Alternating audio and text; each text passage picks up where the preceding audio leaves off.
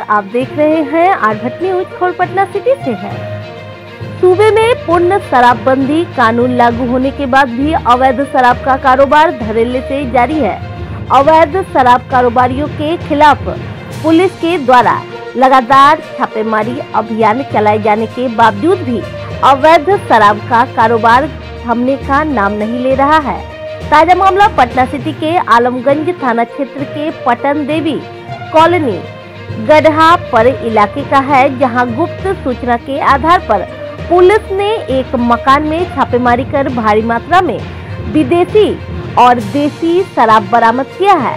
हालाँकि छापेमारी की भनक मिलते ही अवैध शराब कारोबारी मौके से फरार होने में सफल हो गए। पुलिस ने मकान से 180 लीटर विदेशी और देसी शराब जब्त किया है। फ़िलहाल पुलिस अवैध शराब कारोबारी की पहचान कर उसकी गिरफ्तारी को लेकर सघन छापेमारी अभियान में जुटी हुई है।